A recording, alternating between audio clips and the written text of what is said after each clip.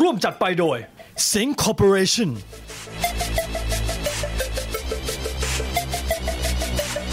ธนาคารไทยพาณิชย์จำกัดมหาชน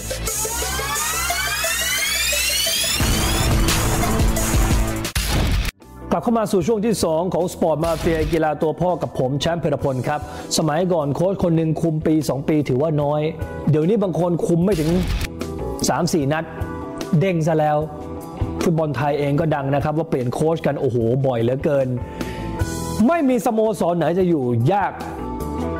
เท่ากับสโมสรที่ดังที่สุดในโลก มีซูเปอร์สตาร์มากที่สุดในโลกเรอัลมาดริดเรอัลมาดริดจ้างสุดยอดผู้จัดการทีมมาโดยตลอด ใครอยู่ได้เกินปี 2 ปีนี่ถือว่ามหัศจรรย์นะฮะ เพราะว่าเล่นดี แต่ไม่ชนะก็โดนด่า ชนะแต่เล่นไม่สวยก็โดนด่า ชนะเล่นสวยแต่ยิงไม่เยอะก็โดนด่า มันเป็นงานที่เครียดมากครับ เหยื่อคนต่อไปคุณผู้ชมที่อยู่เรอัลมาดริดได้ไม่ครบฤดูกาลไม่ครบฤดูกาลซะด้วยซ้ำคือราฟาเอลเบนิเตสแต่ข่าวที่ใหญ่ยิ่งกว่าก็คือ คนที่จะมาคุมทีมแทนราฟาเอลเบนิเตสของทีมราชันชุดขาวจะเป็นใคร จะเสี่ยงแค่ไหน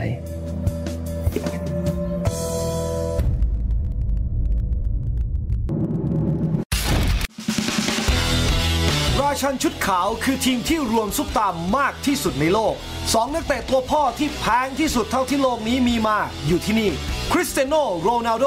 ซุปตาตัวรุกทีมชาติโปรตุเกส ย้ายมาจากแมนเชสเตอร์ยูไนเต็ดด้วยค่าตัวมากกว่า 4,000 ล้านบาท แต่ 2 ปีที่แล้วแกเร็ธเบลปีกจากเวลส์ย้ายมาจากสเปอร์ ด้วยค่าตัวที่แพงกว่าอีกเกือบ 4,600 ล้านบาท แต่บ้านสีขาวของเรียลนี้ สุดจะอยู่ยาก เพราะเวลาซุปตาร์มารวมตัวกัน ก็จะมีแต่คนอยากจะเด่น อยากจะดัง ถึงขนาดมีข่าวลือว่า สโมสรบอกรายการทีวี และหนังสือพิมพ์ว่าค่าตัวของแกเร็ธเบลห้ามพูดถึง เพราะอาจทำร้ายความรู้สึกของโดได้ ว่าเขาไม่ใช่เบอร์หนึ่งนี่คือความดราม่าเล็กๆนะครับ ขอย้ำที่เกิดในบ้านเรอัลมาดริด ที่ยากกว่าคือผู้จัดการทีมที่ต้องชนะเยอะๆ ต้องเล่นสวยงาม entertain และต้องทำให้ซุปตาร์ทุกคนมีความสุข ปีนี้เพิ่งแต่งตั้งราฟาเอลเบนิเตสผู้จัดการที่ว่าเก่งที่สุดคนหนึ่งของสเปน เพราะเคยทำทีมวาเลนเซียทีมเล็กๆ ชนะทั้งบาร์เซโลนาและเรอัลมาดริดคว้าแชมป์ลีกสเปน 2 ครั้ง พอไปคุมลิเวอร์พูลก็พาทีมไปถึงแชมป์แห่งทวีปยุโรป ซึ่งผลงานในการคุมทีมไม่เลวเลยนะ 25 นัดชนะ 17 ซึ่งหากเป็นทีมอื่นนี่คือผลงานที่สุดยอด แต่ที่นี่ไม่ดีพอ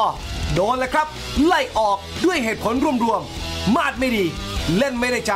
และซุปตาในทีมไม่ค่อยให้ความเคารพ คนที่มาแทนไม่ใช่คนไกล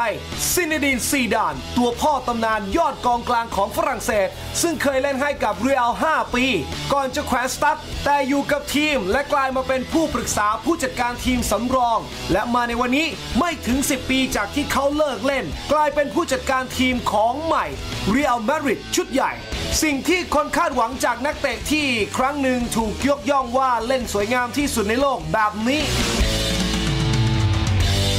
แต่เวลามาคุมทีมจะเล่นได้แบบนี้หรือเปล่าน่าสนใจ และที่น่าสนใจยิ่งกว่าคือเรียล 13 ปีหลังเปลี่ยนผู้จัดการ 13 คน 1 ปีต่อ 1 คน ปีหน้าซีดานจะเป็นยังไง พูดได้คำเดียวว่า โชคดีนะ เรอัลมาดริดกำลังเข้าช่วงปวดหัวนะครับ แน่นอนคู่แข่งอย่างบาร์เซโลนาก็ยิ้มสิครับ เพราะความทุกข์ของเรอัลมาดริดคือความสุขของบาร์เซโลนาสองทีมนี้แข่งกัน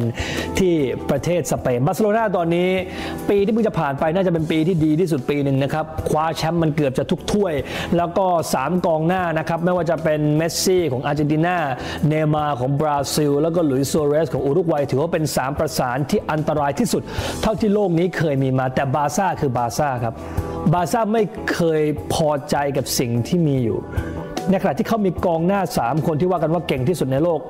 ปรากฏว่ามีคนไปวิจารณ์ครับ ว่า 3 คนนี้ยังมีจุดอ่อน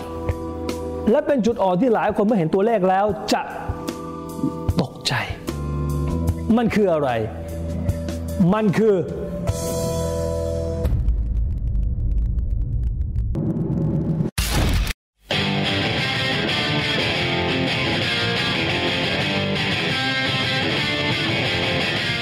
MSN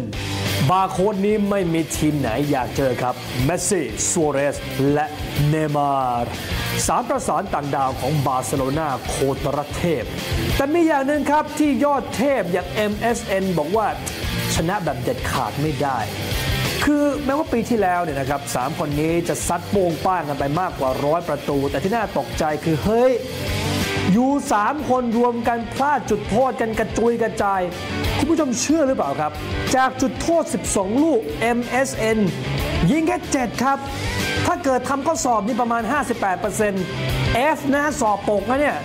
เมสซี่ซัด3เข้า2ซัวเรสนี่ดีเลย 2 เข้า 2 แต่เนมานี่สิครับ 7 ลูกยิงเข้าแค่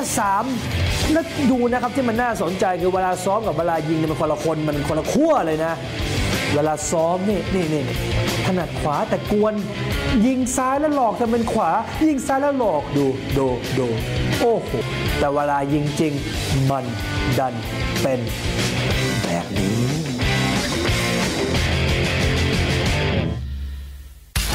เลียวเนเมสซี่เมื่อปีที่แล้วที่เพิ่งจะจบไปนั้น เป็นปีที่ยิ่งใหญ่ เพราะเขาฉลองเล่นให้สโมสรบาร์เซโลนาครบ 500 นัด แล้วเมื่อเขาเล่นครบ 500 นัดทางสโมสรก็เลยได้ทำคลิปมาสดุดี คลิปคลิปนี้เขาเก็บภาพตั้งแต่นัดแรกที่เมสซี่ลงสนาม ไปจนถึงนัดที่ 500 เกิดอะไร 500 นัด ผมจะย่อที่สุดช็อตเด็ด top shot ที่ทำให้เขาเป็นตัวพ่อในเวลาไม่ถึง 3 นาทีเลโอเนลเมสซี่500 และยัง continue ต่อไป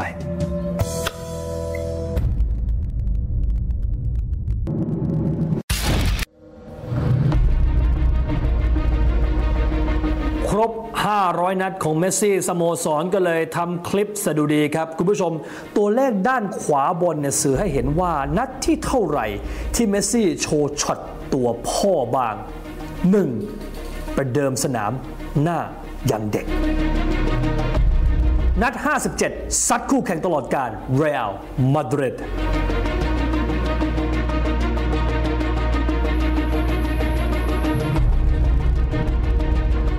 นัด 62 โชว์ทีเด็ด ลาก ลาก โซโล่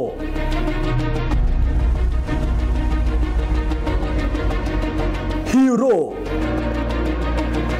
161 โคกใส่แมนยูพาทีมไปเบอร์หนึ่งบอลยุโรป 199 มีดีที่ลากอีกแล้ว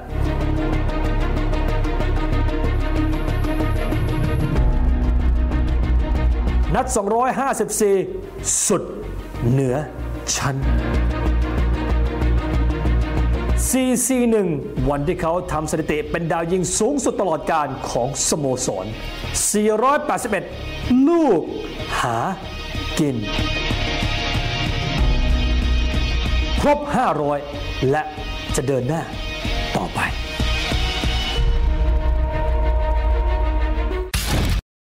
นั่นคือเรื่องราวของ 2 ยอดทีมที่ยิ่งใหญ่ที่สุดในโลกเรอัลมาดริดและบาร์เซโลนานะครับ จริงๆ ตอนนี้ต้องบอกว่าบาร์เซโลนาและก็เรอัลมาดริดเพราะตอนนี้บาร์เซโลนานี่น่าจะทิ้งเรอัลมาดริดไปเยอะเพราะบาร์เซโลนาค่อนข้างจะให้เวลาในการสร้างทีมค่อนข้างจะมีคำว่าผูกพันผู้จัดการทีมของบาร์เซโลนาส่วนใหญ่จะเล่นฟุตบอลกับบาร์เซโลนาแล้ว มันมีความผูกพัน มันรู้ระบบกัน แต่เรอัลมาดริดจะเป็นอีกแนวหนึ่งบาร์เซโลนาจะผูกพันเป็นครอบครัวเรอัลมาดริดจะเป็นป๋าป๋าก็คือใครเก่งใครดังเอาตังเข้าทับ ความผูกพันอาจจะไม่ค่อยเยอะแต่ว่าข่าวภาพมันดูอลังการงานสร้างมาก แต่ถ้าเกิดดูในเรื่องของความสำเร็จแล้วบาร์เซโลนากินขาด ช่วงหน้า บาร์เซโลนากับเรอัลมาดริดนอกจากเขาจะแย่งความสำเร็จกันแล้วนะครับเขายังแย่งนักเตะกันด้วย ช่วงหน้าผมจะมีเรื่องราวของสุดยอดนักเตะ ที่สองทีมนี้มีข่าวว่าสนใจ หนึ่งในนั้นเล่นให้กับทีมที่มีเจ้าของเป็นคนไทยซะด้วย